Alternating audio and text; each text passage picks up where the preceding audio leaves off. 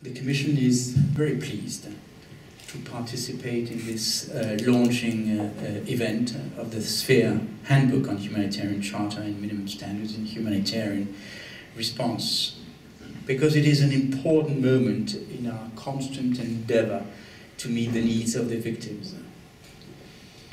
As important donors and humanitarian actors, we have the responsibility to ensure that aid delivered represents the best available option and we are accountable to those in need in the countries facing a humanitarian crisis to ensure that the aid is suitably adapted to the circumstances and is provided in a way that enhances prospects for recovery. Critical in this context is ensuring the involvement of those assisted, transparency and communication. The EU consensus on humanitarian uh, aid recognizes explicitly the Sphere project as having set out, in general and per sector, widely recognized minimum standards in disaster response. The Commission is pleased to have contributed financially with other donors to this revision exercise that you have now achieved with success.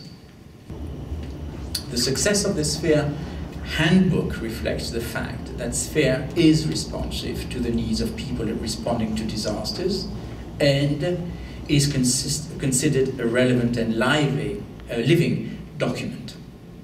It is the result of an extensive process of collaboration and consensus building. The Commission commends the revision process, which yet again organized a robust and widespread process of engagement among stakeholders and practitioners in each sector. There was a broad-based consultative process with the development of the handbook and through the peer consultation, uh, consultation groups involving NGOs, United Nations, agencies, host governments and donor governments.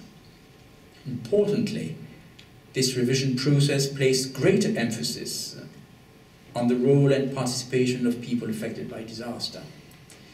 As key stakeholders and critical participants in the process to reflect better their point of view in the revised handbook. The Commission will be inspired by the content of this new handbook in its financing decision and its in, in its evaluation and monitoring exercises the Commission will foster within the EU the promotion of the different quality standards tools available.